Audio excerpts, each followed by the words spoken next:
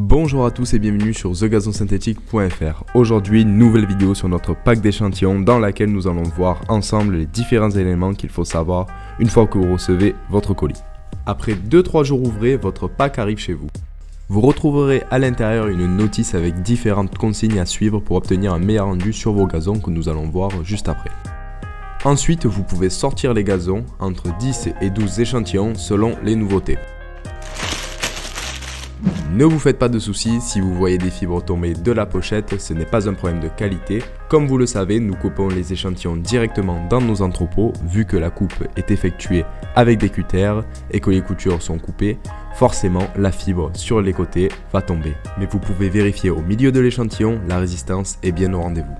De plus, un petit cadeau à notre effigie se cache aussi dans votre pochette. Avant de comparer vos échantillons, il vous faudra commencer par redresser la fibre à rebrousse-poil, c'est-à-dire dans le sens contraire dans lequel ils se sont couchés suite aux conditions de transport qu'ils ont subies.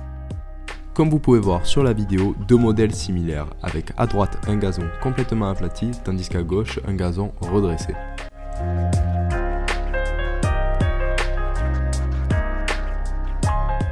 Le dernier élément auquel il va falloir faire attention est le sens de pose de votre gazon. Sur cet exemple, le sens ne correspond pas. Et c'est pas bon Il vous faudra donc placer l'ensemble des échantillons dans le sens de la vue, c'est-à-dire la direction des brins vers vous. Et là, ça sera beaucoup mieux.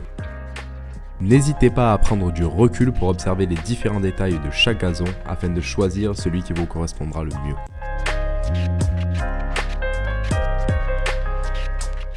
Je vous remercie d'avoir regardé la vidéo en espérant qu'elle vous aura bien aidé. C'est maintenant à vous de commander votre pack d'échantillons gratuit sur notre site www.thegazonsynthétique.fr.